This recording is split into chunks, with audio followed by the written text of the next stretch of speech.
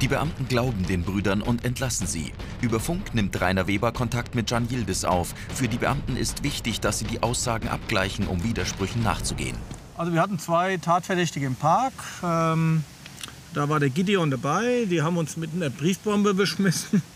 Papierbombe. Ähm, keiner verletzt. Ähm, die haben wir jetzt äh, wieder entlassen. Äh, Die haben wirklich mit dem äh, Rauschgift, äh, mit dem Marihuana nichts zu tun. Während die Kripo-Beamten äh, im Park äh, sich umgeschaut haben, was jetzt Sache ist, wollten wir eigentlich losfahren, konnten wir nicht, weil der Yannick dann sich entschlossen hat, äh, doch noch mal uns etwas mitzuteilen, was für uns sehr wichtig war.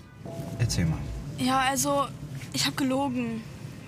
Der Gideon und sein Bruder, die rauchen nicht. Die, die haben auch nichts gemacht. Und ich habe die auch nicht im, im Gebüsch gefunden im Park, sondern es bei meinem Stiefvater. Im, im, der hat so einen genannten Hobbykeller.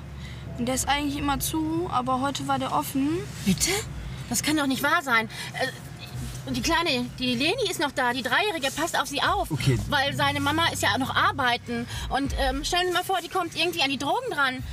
Meine Frage ist ja jetzt, ähm, haben wir einen Namen und eine Adresse noch? Ja, ja, er lebt ja jetzt seit einem halben Jahr da. Ähm, es ist Schillerstraße 16. Es ist Schillerstraße Genau, 16. Franz Kurz. Aber ich weiß auch gar nicht, ob sein Name da dran steht, aber es ist ja auch egal. Auf jeden Fall. Hassel steht dran. Die Maßnahmen gegen Ja, den Gideon mach einstellen. Egon für den 1323 kommen. Der Yannick hat seine Aussage, die er am Anfang getätigt hat, dass diese Jugendlichen etwas damit zu tun haben könnten, revidiert, hat er wieder zurückgenommen. Und zwar sieht wie folgt aus, sein Stiefvater besitzt einen Hobbyraum. Aus diesem Hobby, Hobbyraum hat er das Gras entwendet und wollte dieses dann seiner Tante zeigen, um herauszufinden, wie man jetzt weiter vorgeht. Ich wiederhole, der Stiefvater sei wohl hier derjenige, dem das Gras gehört. Warte mal. Ich krieg hier gerade eine Nachricht. Okay, habe ich soweit verstanden. Moment, warten bitte. Can Yildiz schickt die mit der Kamera aufgenommene Aussage an die Kripo, damit alle denselben Kenntnisstand haben. Der Spürhund war damit überflüssig, die Drogen im Park waren frei erfunden. Wir haben jetzt den Hinweis gekriegt, dass die, heute Morgen gefunden wurde. Okay. Ähm, dass das aus einer Wohnung in der Schillerstraße 16 stammt. Ah, ja. Da würden wir uns jetzt mit äh, weiteren Kollegen äh, von der Schupo treffen. Ja, äh, und da einfallen in die Wohnung. Ich denke, bis dahin haben wir auch den mündlichen Beschluss zumindest. Und dich wollen wir ganz gerne mitnehmen. Ja, klar, nehme Ja. ich den Hund auch noch mal mit. Alles klar. Genau. Fährst du uns einfach hinterher? Mach ich. Ja, Bis gleich. Alles klar. Okay. Der Einsatzort befindet sich am anderen Ende von Duisburg im Stadtteil Rheinhausen. Dorthin haben die Kripo-Kommissare auch ihre Kollegen von der Schutzpolizei bestellt. Sie müssen sofort handeln, weil die dreijährige Schwester des Jungen in der Obhut des Stiefvaters ist. Und da dieser anscheinend Drogen konsumiert, besteht akute Gefahr für das Kleinkind. Folgende Lage. Wir vermuten hier in dem Haus eine Cannabisplantage. So, wir werden äh, die Wohnung... Okay. Mach mal hier. Hallo. Hallo. Ich habe äh, Janik habe ich jetzt zur Cousine gebracht und ich habe gedacht, ich komme jetzt mal vorbei, weil die Leni ja hier ist, dass ich mich um sie kümmern kann für den Fall der Fälle. Ja. Weil ähm, meine Ex-Schwägerin, die ist noch, die habe ich informiert, die ist noch im OP und die kommt auf jeden Fall sofort dann auch hier hin. Aus dem Haus ist Musik zu hören. Can Yildiz ermittelt unbemerkt von dem Verdächtigen, woher die kommt und verschafft sich einen Überblick über die Lage in dem Haus. Ähm, hinten ist sowas wie eine Hütte. Da ist auf jeden Fall Licht. Und oben ist eine Kommt die Person. Musik, wo kommt die her? Die kommt von hinten. Und da ist hinten? auch eine Person, die man halt jetzt nicht identifiziert kann. Männlich, weiblich, weiß ich nicht. Auf jeden Fall befindet sich da jemand gerade. Gehen wir da zuerst hin, oder?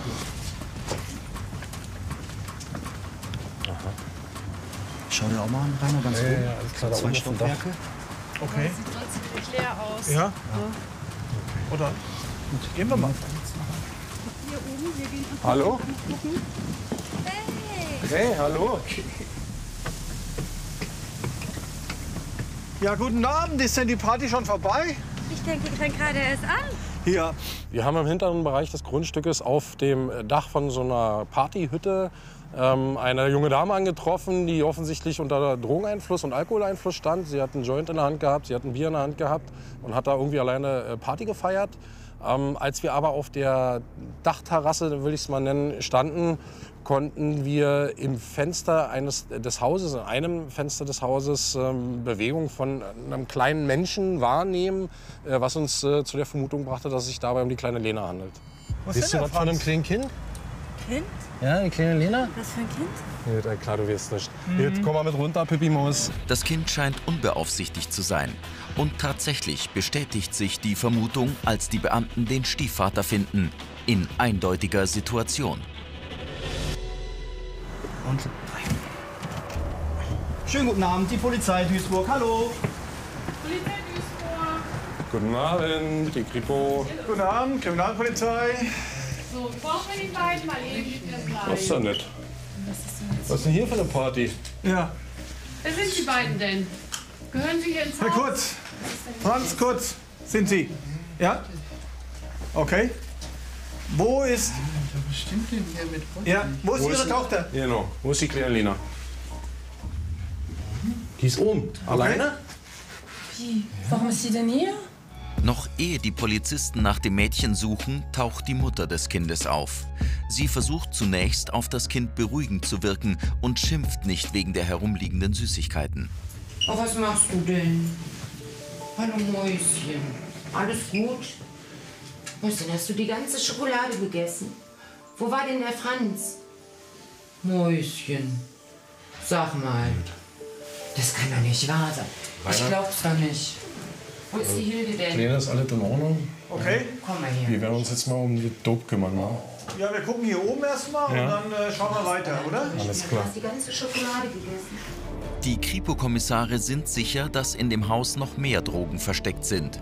Sie lassen deshalb den Rauschgift-Spürhund danach suchen. Der trainierte Hund schlägt bei einem geparkten Auto auf der Straße an. Ein gutes Versteck, aber nicht gut genug. Guck doch mal rein, siehst du was? Ich glaube, wir haben den Jackpot gefunden. Warte mal, Oder mal einen gucken. Blumenladen. Jens von Bene kann ich nicht genau erkennen. Wo ist denn. Äh, Äh, haben wir mal mal. jemand? Äh, Schick mal ihn raus mit dem Schlüssel. ah, Sie haben einen Schlüssel? Der Mann auf der Wolke, bleibt mal da stehen. Schlüssel, aber die äh, Frau. Nee. Ja. Sag mal, was ist das denn? Bist du bescheuert oder was?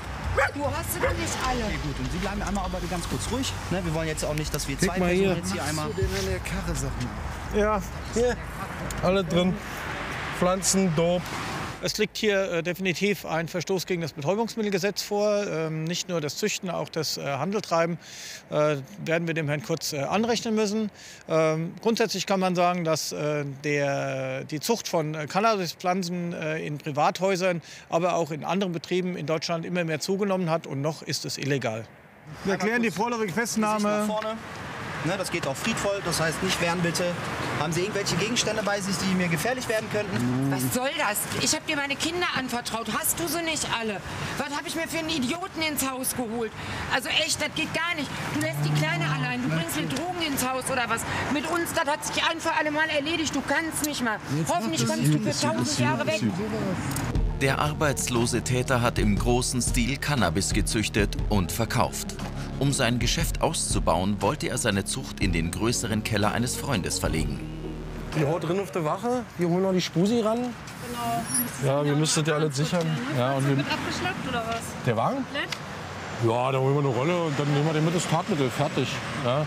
Die Bude drehen wir noch mal richtig jetzt auf links. Vielleicht finden wir irgendwo noch was. Okay, uns braucht er nicht mehr, weil dann verfrachten wir Nee, jetzt direkt verfrachtet ihn und gleich ED-Maßnahmen, volles Programm. Stellen wir das schon mal an. Genau. Schreibt ihr die Festnahme netterweise? Machen wir. Ja, ihr seid Ja. super. Danke. Alles Bis klar? später. Wir sehen uns später. Der Täter muss sich wegen des Handels mit Betäubungsmitteln verantworten. Seine Freundin trennt sich umgehend von ihm. Die Kinder tragen keine Folgeschäden davon.